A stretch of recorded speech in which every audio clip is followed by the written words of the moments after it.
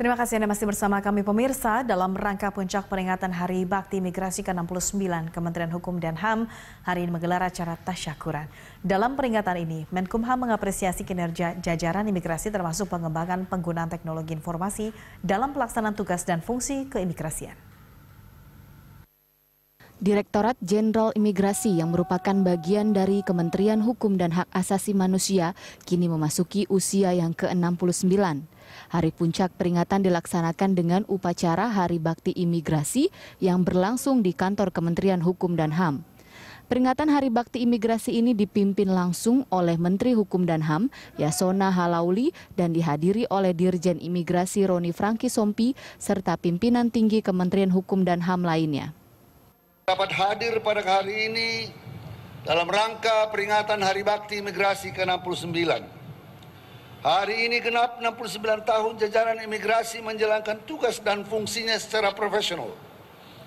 Sebagai penjaga pintu gerbang negara kesatuan Republik Indonesia dan sekaligus menjadi pelayan masyarakat dalam pemberian layanan keimigrasian.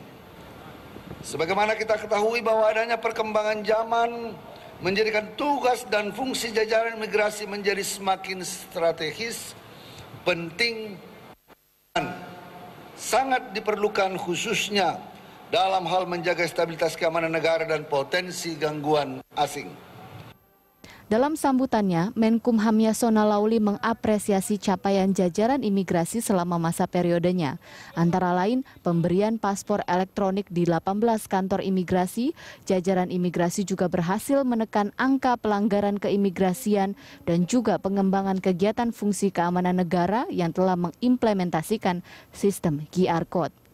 Dalam fungsi keamanan negara telah dilaksanakan implementasi sistem QR Code pada lima tempat pemeriksaan imigrasi. QR Code yang digunakan merupakan upaya peningkatan sarana dan prasarana yang digunakan oleh jajaran imigrasi dalam melaksanakan proses pengawasan di lapangan. Lima, sebagai fasilitator pembangunan kesejahteraan masyarakat, jajaran imigrasi telah memberikan sumbangsi berupa pemberian izin tinggal bagi investor yang ingin menanamkan modalnya di Indonesia – di samping itu juga telah memfasilitasi dengan baik kegiatan-kegiatan yang berskala internasional, di antaranya Asian Games dan Asian Para Games 2018, Annual Meeting World Bank and International Monetary Fund 2018 yang dampaknya terasa untuk menggerakkan ekonomi dan kesejahteraan masyarakat dan kita mendapatkan penghargaan dalam hal ini.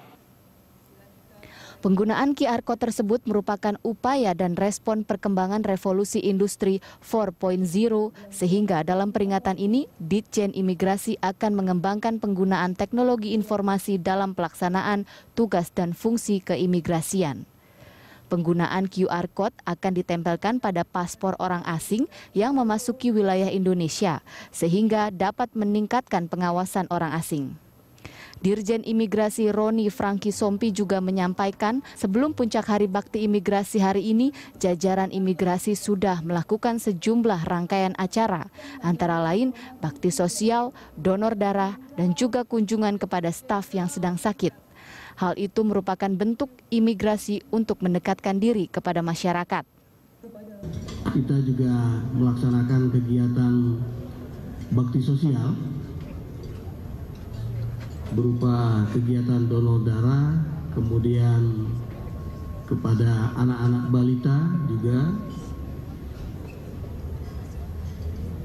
dan kunjungan kepada anak buah yang sedang sakit maupun perlu diberikan perhatian dalam bentuk dukungan untuk kegiatan pengobatannya.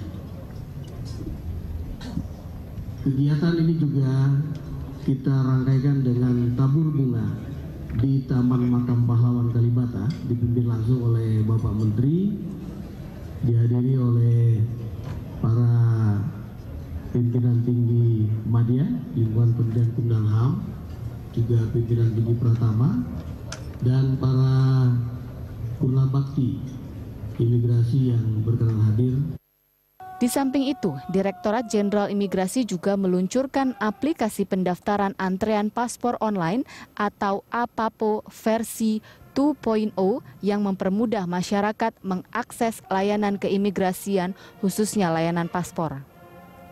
Dengan adanya APAPO, masyarakat yang ingin mengurus paspor hanya perlu mengunduh aplikasi APAPO di smartphone. Hal tersebut merupakan upaya imigrasi untuk meningkatkan fasilitas dan kenyamanan kepada masyarakat. Tim Liputan Berita 1